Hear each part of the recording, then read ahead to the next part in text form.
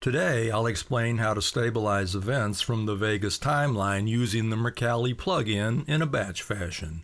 For this demo, a very simple project consisting of five DV events, each five seconds long.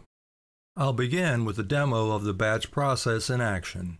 It makes use of several scripts inside of Vegas, and also an external auto hotkey script that I've prepared. Once the scripts are loaded and the batch process is ready to start, the screen will look like this. In the upper right hand corner, a small toolbar. Simply click on play to begin. You will see a marker for each event to be stabilized. The cursor moves to a marker. The event is then selected. The mouse then clicks the start button and the analysis begins. Once completed, the cursor moves to the next marker and the process is repeated. At the end, a marker with no event, telling the script to stop. A message pops up that the process is finished. Simply click OK to continue. Now, some details. We begin with the timeline consisting of our five events. Select the first event and add the Mercalli effects. Once the video effects window pops up, it is essential that it be docked at the uppermost left-hand position.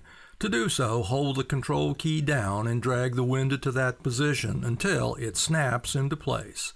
This is necessary to ensure that the mouse cursor is in the correct place to start the analysis. Returning to the timeline, select and copy the first event. Then select the remaining events to be stabilized, right-click and select Paste Event Attributes. You can see that the Mercalli effects has now been applied to all events. Next, add a marker to each event, making sure that it does not fall on either the start or end position. I've included a script that will add a marker to each selected event with an offset of one second. First, select the events. Then go to the toolbar and run the script Add Command Markers to Events. You see that a command marker has now been added one second inside each event. There is also a marker one second beyond the last track event. Command markers were used so as not to interfere with regular markers that might be on the timeline. Now we're ready to run the external script. Go to the toolbar and select the Batch Mercalli button. This launches the freeware program, Pulover's Macro Creator, a front end for the scripting language AutoHotkey. You'll see the small toolbar has popped up. Then minimize Macro Creator. At this point, we're ready to execute the script. Make sure that the cursor is positioned somewhere before the first marker and the correct video track is selected. I'll delete one of the markers to show that it will skip unmarked events. Then go to the toolbar and click on the green play button to start the batch analysis. I'll be the first to admit that this procedure is a bit of a kludge and could be improved upon dramatically by the right programmer.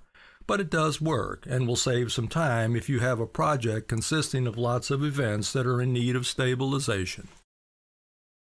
We're done. Click OK to continue and then a preview of the stabilized clips. By the way, the footage was taken many years ago along the Oregon coast.